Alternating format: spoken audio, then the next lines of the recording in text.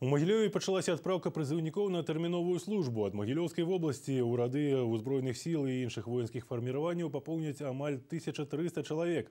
Нашы прызыўнікі будуць служыць як на тэрыторыі вобласці, так і ў іншых рэгіёнах краіны. Невыпадкова урачыстая адпраўка прызыўнікоў ва ўзброеныя сілы Рэспублікі Беларусь прайшла на мемарыяле Буйніцкае поле. Вобласць адзначае 75годдзе гераічнай абароны Магілёва. Літаральна праз месяц гэтыя хлопцы прымуць воінскую прысягу. Хотел попасть в ВДВ, прошел комиссию, группа годности позволила и пошел служить, как хотел. Чувства, конечно, у меня смешанные, но преобладает радость и э, гордость. Гордость за нам, моего сына. Я его безумно люблю. Страха нет, потому что ну, я уверена в нашем государстве. Все будет хорошо, все будет прекрасно. На працягу двух тыдняў ад Магілёўскай вобласці на тэрміновую службу і ў службу ў рэзерве адправяцца каля 1300 новобранцаў.